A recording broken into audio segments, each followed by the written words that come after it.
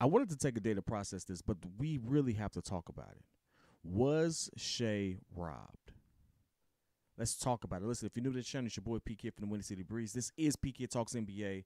You know what to do. You hit that bell, hit like, hit subscribe. Let's get into the topic. Uh, Jokic has won another MVP. And I'm not going to sit there and say that Nikola Jokic did not deserve to be in that conversation. He absolutely deserved to be in that conversation.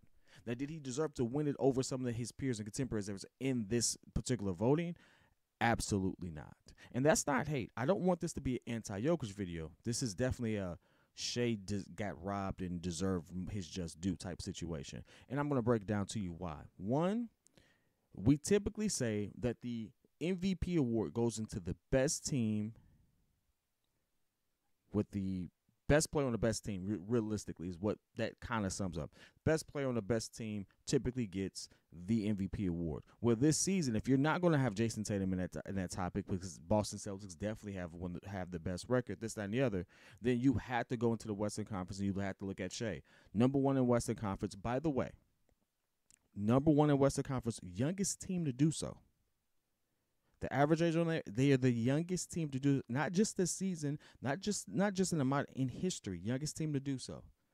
And Shai is actually, I think, if he did not lead the league in points, he definitely is up there, uh, top four. Like seriously, if you talk about top five players in the game, Shai's name comes up right now. This season, it definitely did and they have one of the best records in the league. It's number two overall, number one in the Western Conference and there's nothing else you can say. So tip, so that in itself put him in that conversation, and just based off that criteria alone, it's like okay, all right, we check that box. Uh, top four, offense and defense. I'm gonna say that again. The Oklahoma City Thunder are top four on offense and defense. So this is not a situation where you have someone who is not contributing on both ends because it's not as if they just have one defensive juggernaut and then everyone else is, is slacking off, or they have one defensive juggernaut and the, the perimeter sucks. No, Shai actually as an individual ranks pretty high as a perimeter defender. He also ranks pretty freaking high as a uh, from guard play on the offensive side as well. When you have it being done on both ends of the floor, he is actually in that conversation. He's killing the both ends people would say, and you can argue that Jokic is not a great post defender or great defender for his position.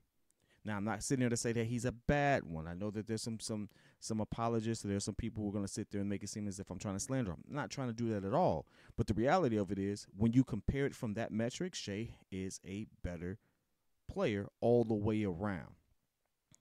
Now, that's kind of hard to say when you sit there and look at the fact that Jokic does – like average nearly a triple double. He has like these really he does a lot. I'm not gonna sit there and make it seem like he doesn't lie. And for his position, what he does is kind of unheard of. So I'm not gonna make it seem as if again Jokic did not deserve to be in this conversation. But for what Shai has accomplished in some of the historical precedent that was set, it's like, hey, you can't deny that because realistically, you may not see too many people if you in in recent history or in in upcoming future accomplish what Shai has accomplished. By the way, uh, over 50 over 40 games with 30 plus points. Over 30 games with 30 plus points in zero to and less than three turnovers. Something that has only been accomplished by one other person who wore number 23 for the Chicago Bulls. Yeah, that's yeah. Yeah. He's putting himself in rare air right there. So when you have all of these things, you have a number one in the in your conference, youngest to do that. You have a, a, your team both at best at uh, top four defense and offense. Something that the Nuggets the Nuggets are, you know, they're good defensive team. Don't get me wrong, but if no one's sitting there looking at Jokic as just a lockdown center, it ain't happening, right?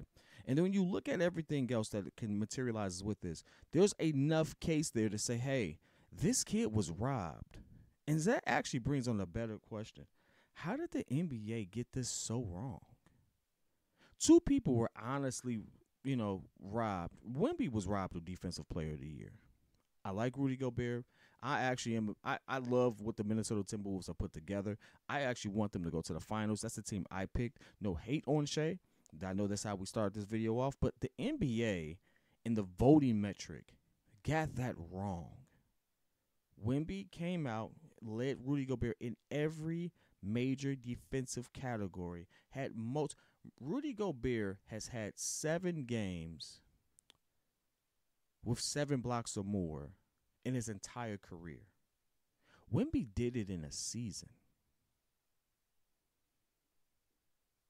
Let that marinate. Wemby accomplished something that took the DPOY, let's say a 10 plus year career. I think it's about 10 years for Rudy. He did it in his first season.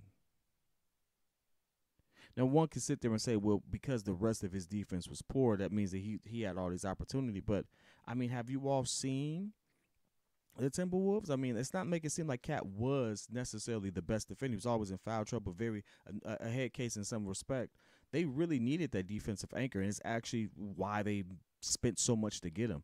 They were missing that. So it's not as if they were just hands and shoulders above everybody before they got Rudy. Rudy is a difference maker. Rudy is a game changer. Wemby can't control everything else that's around him right now, but as an individual, which is what it is, defensive player of the year, as an individual, he's a better defender than Rudy. The statistics show it, everything shows it. And we just totally rob we robbed two young guys of the chances to potentially make history. Like the MV for him to win MVP, Shai, for Shai to win MVP at with the youngest team, this, that, and the other, it would be like a history making thing. Like you could stamp it. No one's done this since Shai SGA. That's what we would be saying. For Wemby, it would be a history thing. He literally would be one of, I think, if not the, just or or a second. But it's a history defining thing. Like seriously, he's rookie of the year, defensive player of the year. That is a huge accomplishment you only get to be a rookie once, unless you're Blake Griffin. You only get to be a rookie once, unless you're Ben Simmons. Like seriously, you can't, you can't, you don't get, you don't get another chance.